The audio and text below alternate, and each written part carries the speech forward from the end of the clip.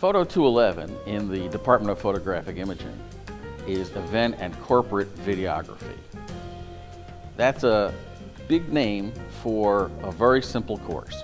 All we do is get real people to come in, real businesses, real nonprofits, and they become our clients. The students shoot the production on location, we interview the clients, and we put together a production which tells something about the client's services, about their facility, about the products that they produce, about the people that they serve, and the client then uses that to promote their service or product.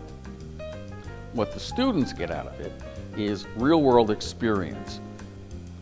Photo 211 students work in small groups with high-end Sony and Canon high-definition video cameras. In addition, the students use Sennheiser microphones and mixers. Students will often use a variety of lighting instruments using either halogen lights or LED lighting or fluorescent lighting. All of that equipment is in our department and we provide it for free to the students in the photo production classes. We'll shoot as many times as the client needs us to on location, and then we do all of the post-production services.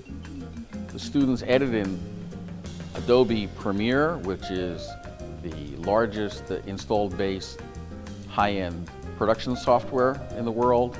It matches up with Adobe Illustrator and Adobe Photoshop and produces very high quality results. Sometimes people from the Photo 211 class go ahead and create their own small production company.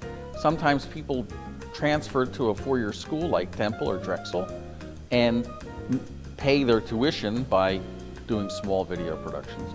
And sometimes people will join a small production company. Philadelphia is loaded with small video production companies that need good, smart people, the kind of people that Photo 211 graduates.